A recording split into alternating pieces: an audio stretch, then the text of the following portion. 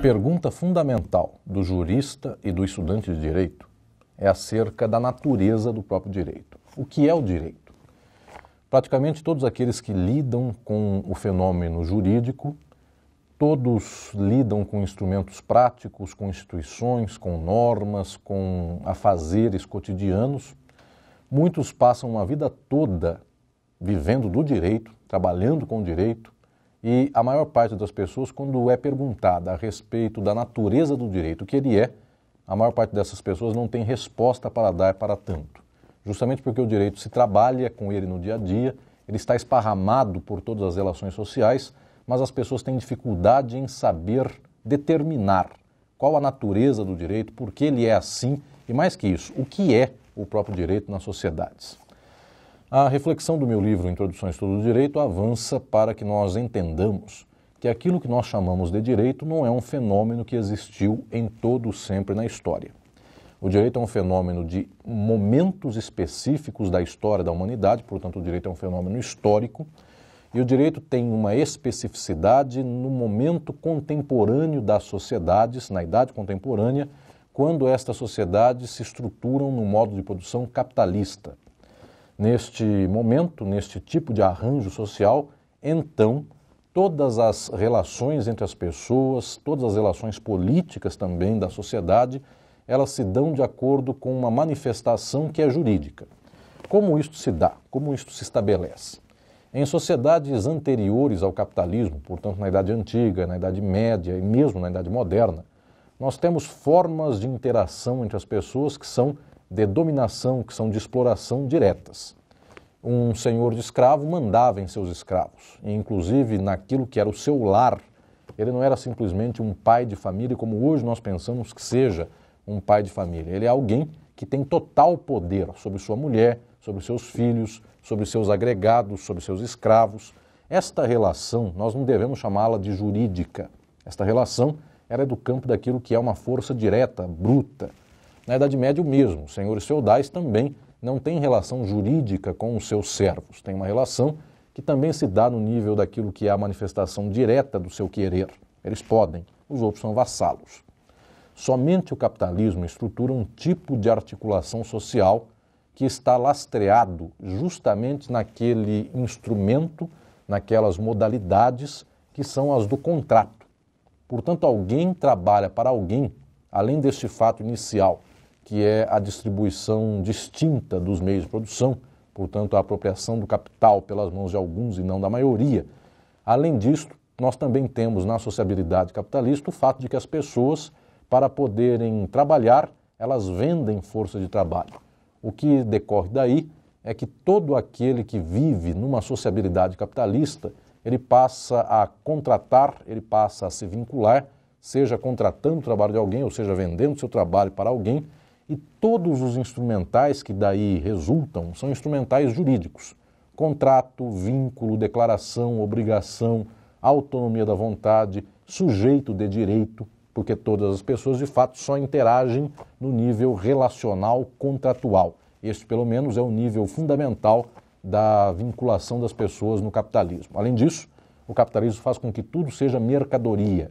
Então, alguém que tinha no passado, pela força bruta, ou seja, por uma guerra, mediante instrumentos de força direta, mediante instrumentos inclusive de escravidão. Ele possuía algo para si. Isto no capitalismo vai se tornando incidental, vai se tornando minoritário, de tal sorte que nesse momento então do surgimento das sociedades capitalistas, nós temos uma dinâmica de todas as coisas do mundo que se dá mediante mercadoria. Então alguém tem porque comprou. E se tem é seu, herdou, eventualmente veio das mais variadas formas, isto também é garantido pelo Estado, não é simplesmente a sua força bruta que garante esta vinculação.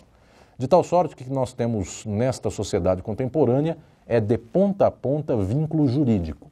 E este vínculo jurídico é muito distinto daquilo que no passado nós chamávamos por direito. No passado, o direito tinha uma ligação muito clara com questões morais, com questões religiosas, o que nós falávamos de direito no passado quase sempre está no plano ético, no plano moral. Já na sociedade capitalista, o direito tem uma vinculação estrutural das pessoas que estabelecem suas relações com base em contrato. Portanto, o instrumento fundamental do direito é a subjetividade jurídica. Os seres humanos, os indivíduos, passam a ter coisas, passam a ser proprietários de coisas, e isto que tem para si e que depois disponibilizam ou vinculam mediante contrato, tudo isto que se faz circular se dá com uma natureza das pessoas de, ser, de serem estas mesmas pessoas sujeitos de direito. Isso quer dizer que qualquer vínculo que se estabelece entre os seres humanos se dá com uma troca de direitos, deveres, obrigações, responsabilidades.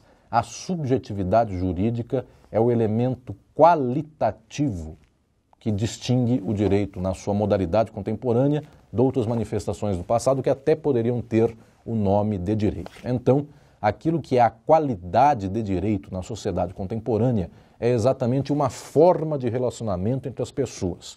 Esta forma de relacionamento é a forma da subjetividade jurídica. Pessoas se relacionam umas com as outras mediante vínculos que são vínculos jurídicos. Isto é o fundamental.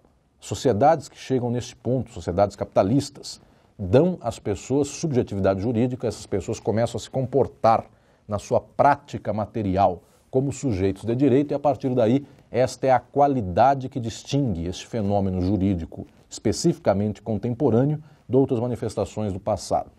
Claro, esta é a qualidade do direito e dentro desta qualidade de sujeitos de direito que portam mercadorias, que transacionam inclusive sua força de trabalho, suas mercadorias com os outros, além disso, nós também temos muitas outras relações necessárias para entendermos o que é o direito contemporâneo. O fundamental é esta qualidade formal, da forma social do direito, esta qualidade de subjetividade jurídica. Além disso, nós também temos uma quantidade infinda, virtualmente, de relações que são estruturadas internamente pelo direito. O direito dá subjetividade jurídica para as pessoas essas pessoas podem transacionar com todas as coisas do mundo, virtualmente tudo pode ser comprado e vendido. A possibilidade, inclusive, da venda da força de trabalho pode ser modulada no máximo ou no mínimo. Nós tivemos na história da sociedade contemporânea capitalista circunstâncias em que crianças com uma idade muito diminuta podiam vender sua força de trabalho e assim faziam, ganhando um salário miserável, pessoas que morriam muito cedo, inclusive, na sua existência biológica, e nós temos outras etapas, inclusive, nas quais há uma série de garantias que fazem com que o trabalho explorado mediante modalidades capitalistas tenha salário mínimo, tenha 13 terceiro salário, tenha direito a férias. Portanto, existem arranjos, o que eu chamo aqui no livro de Introdução ao Estudo do Direito, arranjos quantitativos distintos dentro desta qualidade. Para que se entenda o que estou aqui dizendo, a forma de subjetividade jurídica, a possibilidade de alguém vincular-se a outro mediante contrato, isto é a qualidade do direito. Quando a sociedade chega nesse nível qualitativo, quando as pessoas não são mais simplesmente exploradas pela força bruta, pela escravidão, pela servidão, mas são exploradas mediante mecanismos de vinculação contratual, esta é a qualidade que resulta, que dá o direito conforme nós conhecemos na atualidade. Dentro desta qualidade, existem muitas quantidades de arranjos jurídicos que, levando a relações mais progressistas, relações mais conservadoras, de maior ou menor exploração, esta quantidade de direito, ou virtualmente sobre o que o direito fala, se sobre mercadorias conhecidas tradicionalmente, se sobre a propriedade, se sobre contratos, se sobre novas mercadorias, novas tecnologias, novas descobertas da sociedade, tudo isso virtualmente é quantidade de direito, para mais ou para menos, e esta quantidade de direito está vinculada à qualidade de direito. O que eu quero dizer com isso é que as pessoas, sendo sujeitos de direito, elas encontram modulações para os seus vínculos contratuais. Então, algumas podem vender sua força de trabalho a partir de uma certa modulação de salário, de tempo de serviço, outros podem comprar determinados bens, mas outros não podem ser vendidos. Tudo isso são modulações quantitativas dentro daquilo que é a qualidade do direito. Então, quando nós vamos investigar mais ao alto, mais determinantemente ainda, o que é o direito na sociedade contemporânea, nós percebemos que este elemento, que é a apreensão das coisas do mundo, o capital, pelas mãos das pessoas, pelas mãos de alguns, e virtualmente, eventualmente aqui, circulando para todos, esta apreensão se faz mediante garantias e mediante vínculos que são dados por direito. Então, contrato, vinculação com autonomia da vontade, garantia de que este capital está respaldado não por aquele que possui, mas respaldado por um terceiro, que é o Estado, todos esses elementos vão constituindo esta qualidade do direito. A forma da subjetividade jurídica, portanto, é este elemento insigne fundamental que dá especificidade ao direito contemporâneo.